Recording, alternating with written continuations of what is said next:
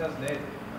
Yeah, Ned got through training today well. So, again, the last tick in his um, concussion protocols prior to this weekend's game, and provided that he pulls up well from today, then he'll, uh, he'll be playing for us come Saturday afternoon. So is he, he test that tomorrow, or is that a game time, game day decision? It's uh, depending on how he pulls up, and we'll consult with the doctors with the, the remainder of the concussion pro- protocols. Probably a check in tomorrow to make sure that he's he's right to go. But um, all signs look really positive from training today.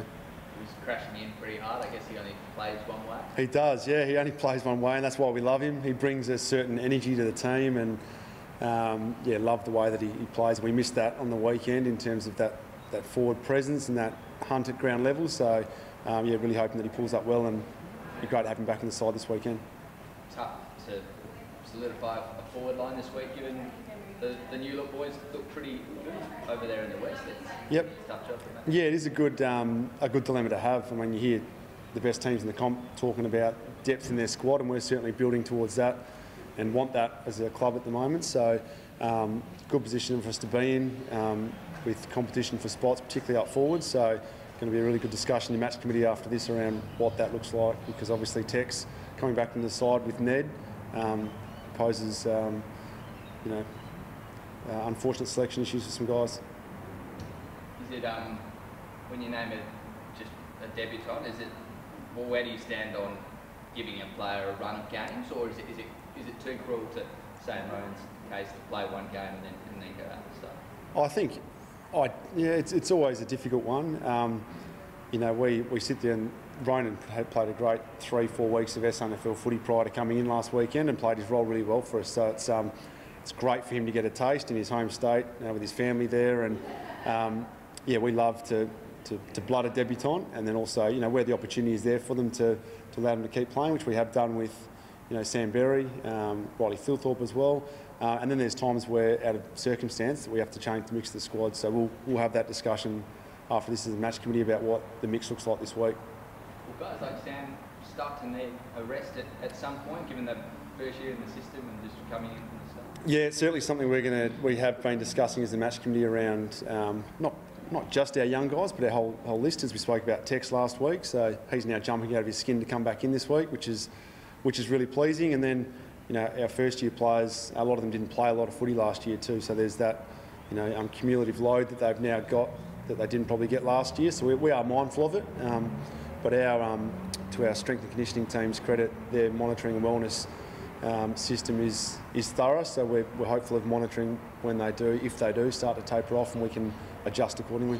DB, how do you see your defensive unit? Obviously, Nixie said you know, the, the ball coming in for Darling is entirely on them, but I feel like perhaps you were one one big man short. Yeah, look, it's it's easy in hindsight to say with that, you know, that probably 10 or 15 minute period where West Coast got on top, and it, it did come off the back of some centre bounce dominance. So us as midfielders have to take some responsibility um, on making sure that delivery gives our backs the best chance.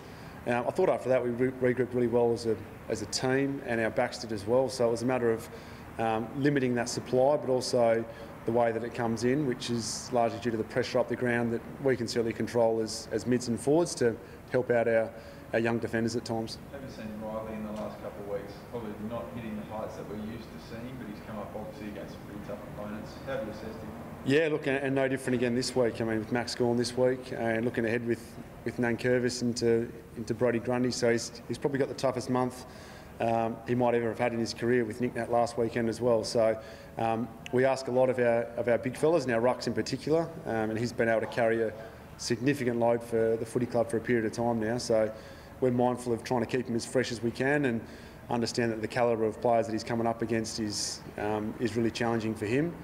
Um, what was pleasing on the weekend is he battled his backside off against Nick Nat, and the mids at ground level did their best to try and nullify the impact of the dominance that, that Nick can get at times. So, um, but we were, we were pleased in a lot of regards with the way that the boys were able to fight it out and, and assist each other, really. Does Rob need to chop out at any point? Like, could you see that happening? Or?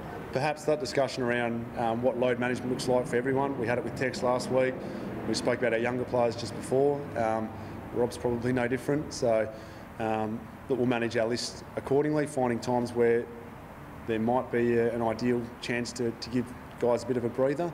In saying that, we've got the bye in a few weeks' time as well. So, um, it's a, it's a balancing act, but um, that decision is not necessarily up to, to us as match committee. It's a discussion point, but our strength conditioning team are, are really well informed in regards to loads and best opportunities for guys to, to freshen up. Have you got an obvious Rob replacement if he did need a rest, or if someone was dominating the twos or elsewhere? Look, we've got a couple of tall guys in the team, um, so they can certainly. Um, you know, we've got a number of ruckmen that have played that second ruck role in Frampton, Thilthorpe, Himmelberg. Um, Tex has even played a bit in that role. So, um, in the side at different stages, and Kieran Strachan came in last year for his debut, and he's been playing some really good, strong footy in the SANFL as well. So, um, we're lucky that we've got some options in the in the tall man department. But um, at the moment, yeah, Rob's our man and has been doing a, a great job for us.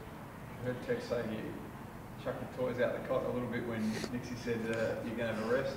How would you have gone if you're playing well and you know, Yeah. leading the best and fairest and Sando come up and said, hey mate, just sit this one out?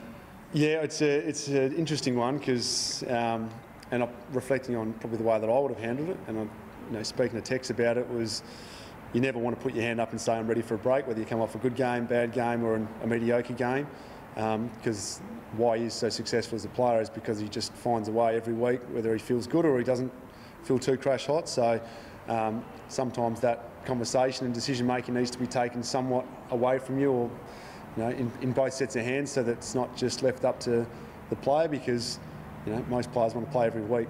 Um, so we took a long-term view with it, and um, really happy with how he's feeling this week, um, and he'll be jumping out of his skin to have a crack at the D's this weekend. So what are the benefits for him? Oh, look, he's. I mean, he's he's uh, 30 plus now, so he's played a lot of footy and freshens him up, allows him to be sharp um, around the contest. Because I think Tex, when he's when he is at his best, is that he's he's able to, to fly and launch at the footy. His follow-up works elite, um, and he's able to cover the ground um, better than most. So. Um, not that he was labouring in that way, but it's a matter of just how do we keep him in that space. And sometimes it's it's you know um, being more proactive than reactive. So we took the proactive approach. I feel like Tim Kelly got off the chain in that first half. Yep. Um, do you obviously you make corrective changes and then he was quieter in the second. Coming up against a midfield like Melwood, Clayton Oliver had about a thousand touches against you boys last year. Do you, Yep. do you look at doing that or, or putting a tag or putting attention on from the start of games with midfield groups like you? Yeah, we certainly we certainly can have that discussion and do as a, as a mid group and match committee around what that might look like for us.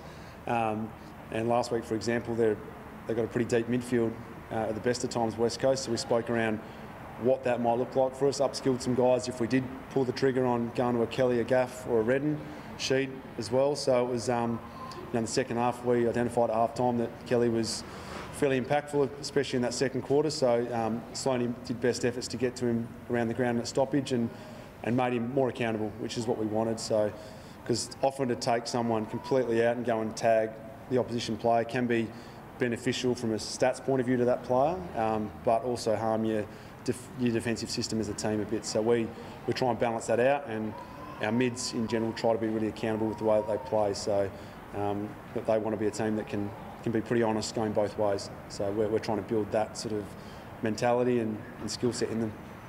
How far are you from that?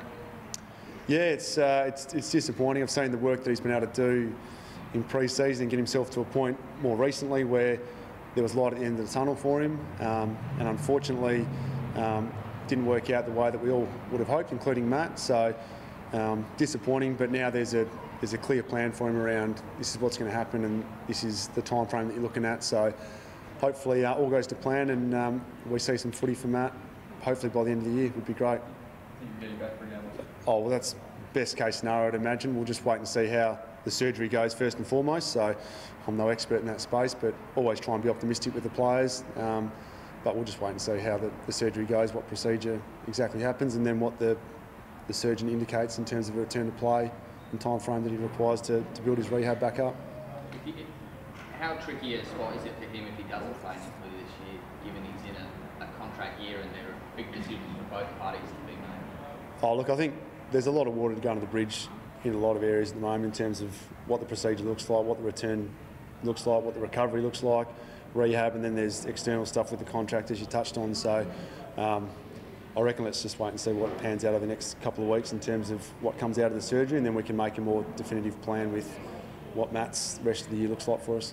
How does that affect players'? Like you would have gone through it. I mean, your, your injury towards the end of your career was Yep. tough one as well. How does being in a contract year, being injured, affect the player's mindset? Um, affects different individuals differently, to be honest. Um, and at the end of the day, you really just got to focus on controlling what you can as a player, and that's getting your body right as best you can. Um, it's staying engaged with the group as best you can, um, because as a footy club, they don't forget um, how you can play or what strengths you bring to a playing group. So um, that's what you've got to remind yourself of and control what you can control, which is yourself and your own body and your recovery. So that's um, what all players will always focus on, and, and he's no different.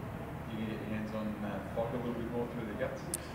Oh yeah, I've enjoyed. of minutes, wasn't it? I've enjoyed. I've enjoyed having him uh, around the footy, and he's certainly shown, even on the weekend, some of his contests and his his ability to, to fight two or three guys off. Um, it's what we see him do and what we've seen him do at training. So that's why we're keen to work with him moving forward. Um, in what sort of capacity that looks like, we're still working through. So we've seen it in in bits here and there, and also some of his forward stuff last weekend was really pleasing. So finding that balancing act for him.